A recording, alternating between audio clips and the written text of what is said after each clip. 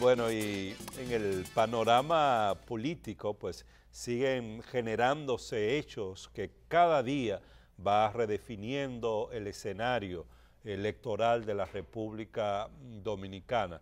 Y cada día porque eh, los órganos electorales, los órganos de justicia electoral, además de la Junta Central Electoral, pues van tomando decisiones que de una forma u otra están eh, cambiando o reinterpretando o modificando lo que se supone que iba a dejar claramente definido tanto la ley de partidos políticos como la ley del régimen electoral. Pero a la hora de implementar estas legislaciones hay que tener en cuenta en qué medidas las mismas se acogen o se apega a lo que está contenido en la Constitución Dominicana y en función de esto a cuál en cada uno de, esos aspectos, cuál sería la opinión o la decisión del órgano eh, constitucional. Y uno de los elementos que está por definir, y bueno, uno puede decir que se ha definido a medias, es el que tiene que ver con la admisión o no de la candidatura de Leonel Fernández para participar como eh, candidato, valga la redundancia, a la presidencia por varias organizaciones políticas que ya le han expresado su apoyo y que, bueno, han presentado sus candidaturas, su candidatura ante la Junta Central Electoral. Recordemos que eh, a principio de esta semana eh, el Tribunal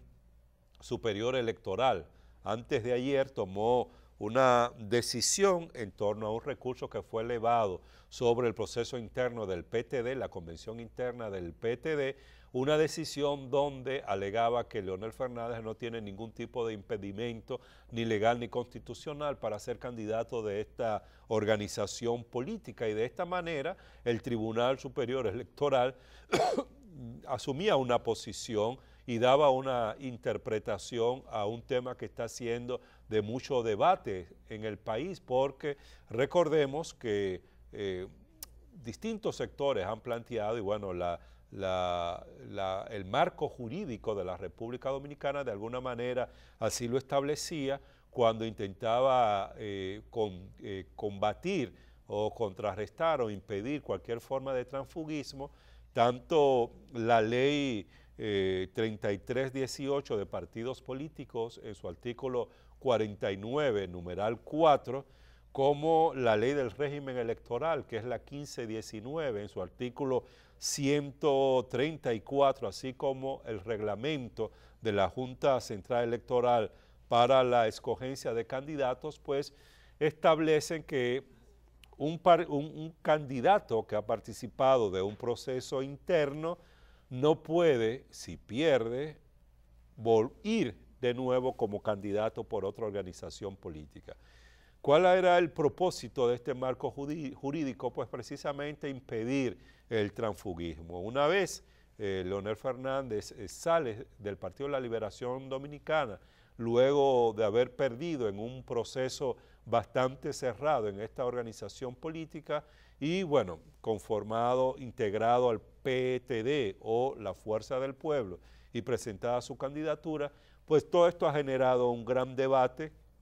y varios recursos ante, primero, el Tribunal Superior Electoral y ante el Tribunal Constitucional, planteando si estos artículos, con esto, a través de estos recursos, planteando la posición de estos órganos electorales de si estos artículos son constitucionales o no, son violatorios o no, o en definitiva si Leonel Fernández puede ir o no como candidato. Ya tuvo una decisión favorable por parte del Tribunal Superior Electoral y la novedad es que el día de ayer la Junta Central Electoral decidió inscribir la candidatura del expresidente Leonel Fernández, una candidatura que fue presentada por el Partido Reformista y varias organizaciones políticas eh, aliadas. Con esta decisión, la Junta Central Electoral echa atrás una decisión que previamente había tomado,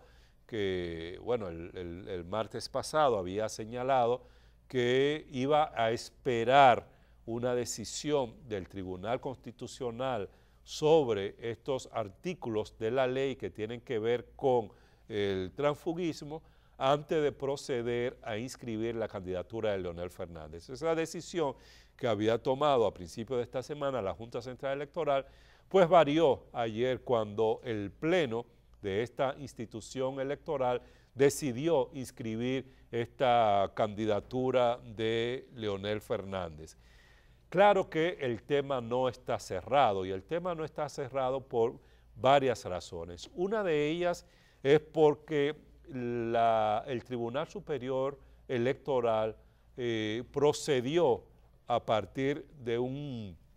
eh, recurso muy específico que tenía que ver con el PTD y Leonel Fernández y la decisión es a partir de una, un conocimiento de la Constitución o de la constitucionalidad de los artículos que supuestamente le impedían a Leonel Fernández ir y por tanto la decisión del de, eh, Tribunal Superior Electoral funciona como un control difuso de la Constitución en el sentido de que solo tiene que ver esta decisión con el candidato Leonel Fernández y con el PTD. Y no implica esa decisión del Tribunal Superior Electoral que la ley del régimen electoral o la ley de partidos políticos en este aspecto que tiene que ver con el transfugismo o en esos artículos es inconstitucional. ¿Esto por qué? Bueno, porque el control concentrado de la Constitución lo tiene el Tribunal Constitucional y por ende es al Tribunal Constitucional a quien le correspondería entonces decidir si esas eh, legislaciones eh, y esos artículos de esas legislaciones son efectivamente inconstitucionales. Es decir, todavía el tema no se ha cerrado, todavía se está a la espera de que el Tribunal Constitucional decida, pero mientras tanto, por un lado, los eh, seguidores de Leonel Fernández han comenzado a celebrar esta decisión tanto del Tribunal Superior Electoral como de la Junta Central Electoral. Parte del oficialismo ha comenzado a aceptar esta decisión eh, de estos órganos. Y esto, bueno, define o redefine y avanza en materia de la definición de ese, de ese tema y genera entonces eh, algunas eh, conclusiones en el sentido de que bueno, difícilmente en un escenario de este tipo el Tribunal Constitucional decida una cuestión contraria a la que ya se ha decidido desde el Tribunal Superior Electoral sobre todo y que ha sido implementado por la Junta Central Electoral. Es decir, que todo parece indicar que efectivamente tendremos en el escenario político de nuestro país a tres fuerzas políticas o bloques políticos importantes compitiendo, el, partido oficial, PLD con el grupo de 11 organizaciones políticas que le respaldan, el Partido Revolucionario Moderno con el conjunto de partidos que también le respaldan y la Fuerza del Pueblo de Leonel Fernández con cinco o seis partidos que le están respaldando. Y estos bloques compitiendo, pues todo esto indica que de cara al próximo año 2020 vamos a tener una eh, competencia electoral que va a implicar una segunda vuelta. Eso está ahí. La Junta Central Electoral, por otro lado, hoy define el tema que tiene que ver con las alianzas presentadas por los partidos políticos y bueno,